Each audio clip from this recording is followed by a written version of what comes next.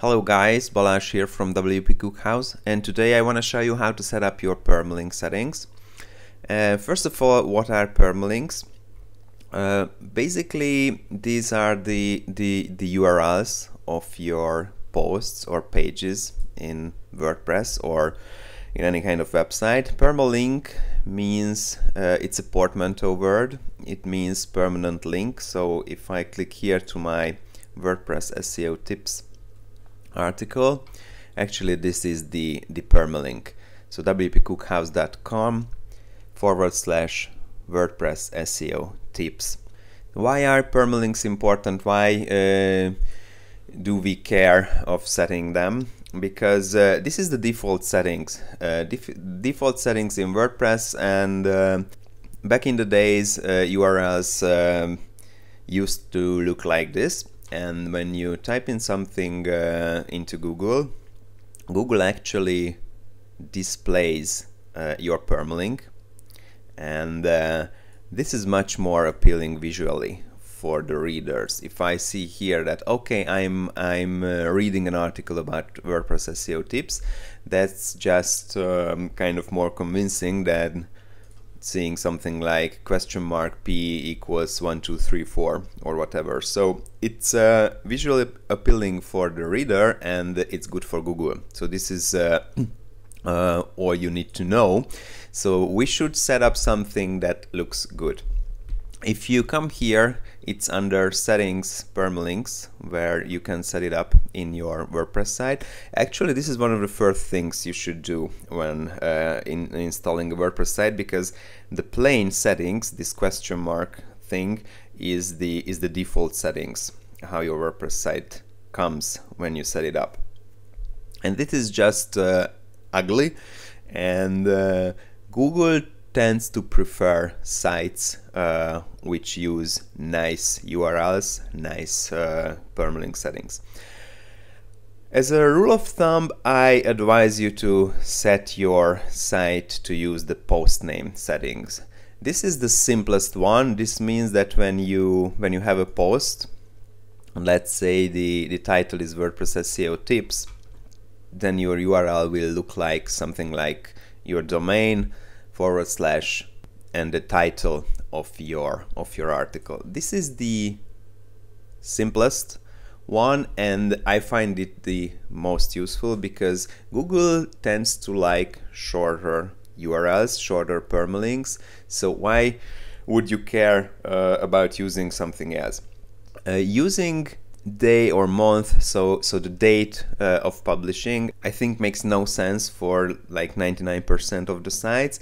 If you are running a news site with lots of news coming out every day it might be important to to show the, the date of publishing in the URL, but uh, I think these are the sites that are not aiming for SEO. So if you are looking, if you are watching this video and you want to have good SEO results, uh, you shouldn't care about the the date of publication of your post. In fact, what you want to do is uh, to bring up your article in the search results even after even years after the, the publication date. So you shouldn't use these ones. There is another option. A lot of sites uh, tend to use then using the the post name uh, here is the settings so the, this category forward slash post name means that instead of just using wpcookhouse.com slash wordpress SEO tips it would look something like wpcookhouse.com slash SEO tutorials slash WordPress SEO tips. So it would um, have the the category name of uh, the category your post is in.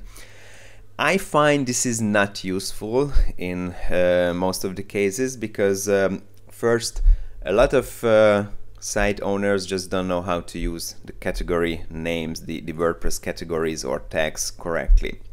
Second, it just makes your URL longer as and I told you that uh, Google tends to prefer shorter URLs. So if you know what you are doing, if you're advanced in, in WordPress and SEO, you might want uh, you might find uh, helpful to to include the category name in your URL structure.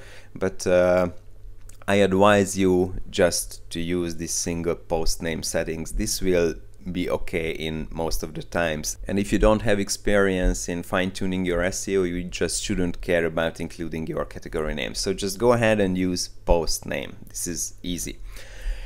And there are some other settings when you, this optional uh, part of the settings page, when you go to a category page, let's say SEO tutorials, it, it, this is a category page for me, then it would look like wpcookhouse.com forward slash category slash SEO tutorials. And you can modify it here, put whatever you want, and then WordPress would use that word in the category URL. Actually, this is much easy to show you with the with the tags in my case, because um, so this is a tag page for me, and you see here here you see the tag words. So this is what you instead of tag if you want to use another word just go ahead and, and put it here and WordPress will rewrite your, your URLs for the tag pages or category pages. The reason you don't see this category word in my category pages because uh, I just uh, came here. This is under the Yoast SEO settings, so you need to have the Yoast SEO plugin installed and uh, I guess it's under advanced and permalinks yeah. And I just set this to remove so strip the category base from the category URL so this is the reason uh, you don't see the, this category base or category word in my category URL uh, if you have a WooCommerce site, WordPress e-commerce site, then you have similar settings for that. So if you have WooCommerce installed, you will have a few more settings here. Uh, this is the same page settings permalinks, and you see I have WooCommerce installed in my on, on this site. You can set up different uh, words or different settings for the, the product category base, the product tag base, and you can set the, the actual product permalinks how your product URL will look like. Here you will be fine with uh, either one of the settings. Uh, if you don't know what how to set it up, just use the default. So if you want to set up your site for good SEO results, just go ahead right after you install WordPress and settings permalinks and set this to post name and you'll be good.